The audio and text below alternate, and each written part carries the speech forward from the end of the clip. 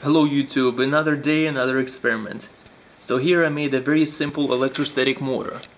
So um, it's very simple. We have um, a plastic jar with three pieces of, um, of aluminum tape on it, equally spaced. And uh, we have a water bottle just filled uh, with water just so it won't uh, topple over. And we have um, uh, aluminum tape. And on the other side we have another piece of aluminum tape and the um, on the other side the piece of tape is um, cut into a wedge.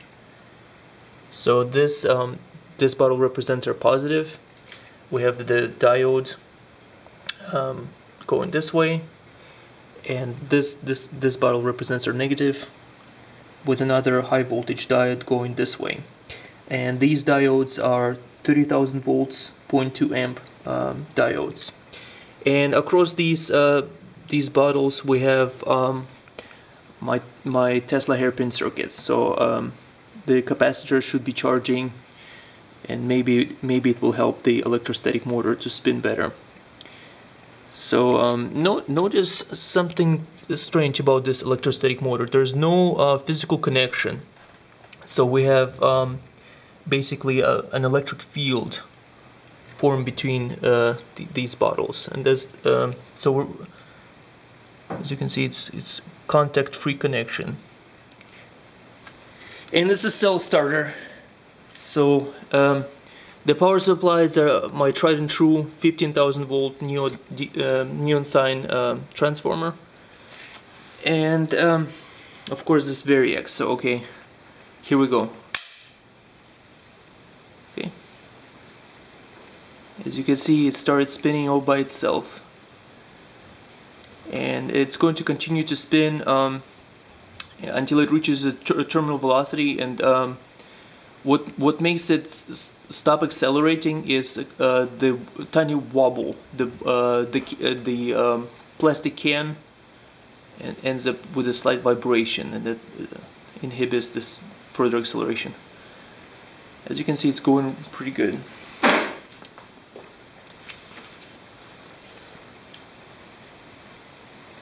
and um, the reason I'm doing an investigation into the electrostatic motors is because I want to look at the uh, Testatika generator.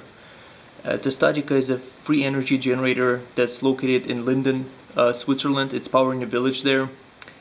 And uh, I believe it's one, one part this uh, an electrostatic motor like this and one part a Wimshurst uh, generator. And um, so you have a electrostatic charge being formed and the um, the electrostatic motor is what carries the charge from one side to another. As you can see it's going pretty well.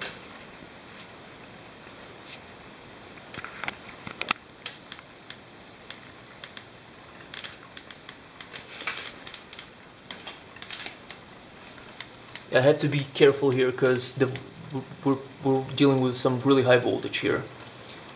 So um, you guys use all the safety precautions when you're doing this. Notice there's no sparks, so we really uh, have um, this the spin uh, in in the electric field. So it's contact free and no no no real sparks.